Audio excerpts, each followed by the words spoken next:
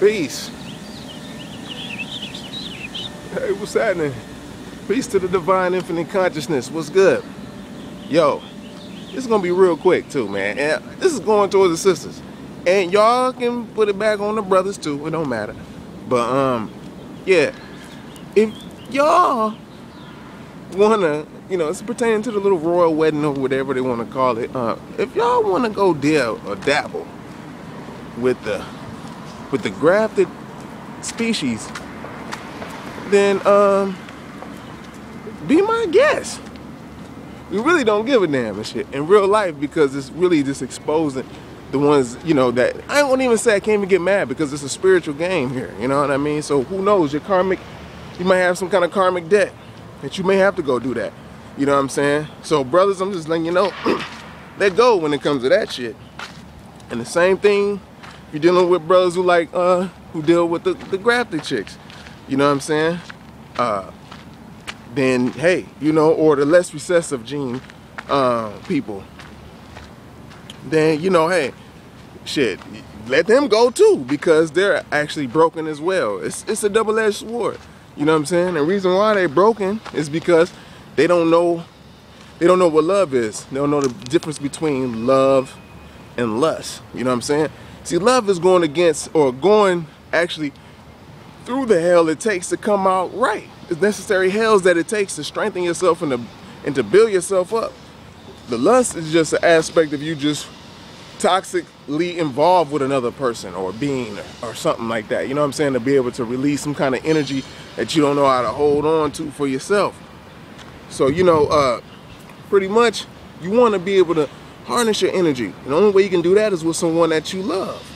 You know, it don't even necessarily have to be with children or whatnot, but shit, you ain't gotta misuse an individual individual because uh, your child ain't have a father or something like that, and you probably got three different baby dads or something like that, and you want to give your child a dad or something, and you really not into the relationship. You know, that's not really right and exact either because you're not really building anything. You know what I'm saying? If anything, you're destroying. So, you know, uh, but I understand your intent. But like I say, you know, um, for the for the wisdoms who want to go with the grafted people, or you know, you can go. There's other indigenous people in the world, but if you want to go with the grafted one, you know, this the one that who forced his might all over the world and was given the opportunity to do it. You know what I'm saying? In real life, they're not powerful as you think they are. You know what I'm saying? They're just holding up a time right now. You know what I'm saying? And also in real life, the majority of them is gay. You know what I'm saying? And that's just how it is. And we, as a as original man, has been turned to look to that type shit regard without having a foundation in the home and other men you know what i'm saying? So you're gonna you're gonna experience that you know? Um, you're gonna see that original man has to go through all kind of shit. People are just curious about what we think and who we are you know what i'm saying? How when we walking down the street niggas can't even breathe chilling without a motherfucker coming up in, within 15 feet of our radius and seeing who the hell we is and trying to get some of our energy you know what i'm saying? So the same thing for the woman you know? So they took advantage of us when we was children you know? So now we back together we grown we didn't know who we was.